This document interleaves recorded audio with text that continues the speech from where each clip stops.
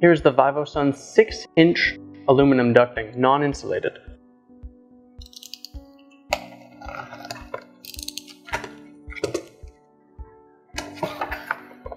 It folds down compact for shipping, but there are 25 feet of this ducting.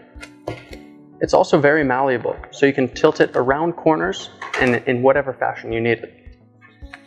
Included are two metal clamps that can be fastened with a screwdriver. These are for attaching on either side once you put it on an inline fan or silencer or filter. This is perfect for in conjunction with a grow tent or grow room.